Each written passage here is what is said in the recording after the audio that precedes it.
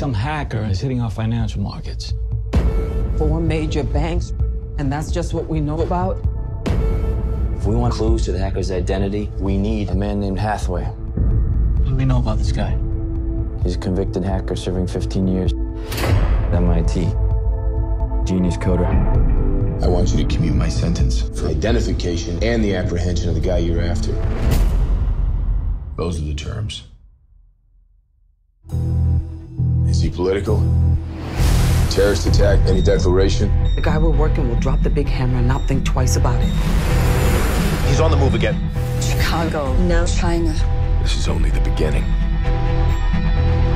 He's still writing. What for?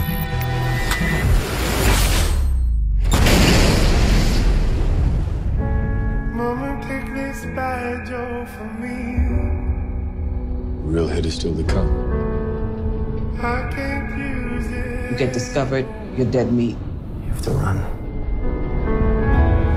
Knock, knock, knocking on heaven's door.